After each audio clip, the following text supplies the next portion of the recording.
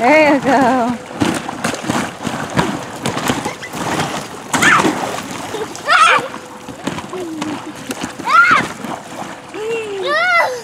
Here you go, Cole. Welcome to Cole's Family Fun Channel.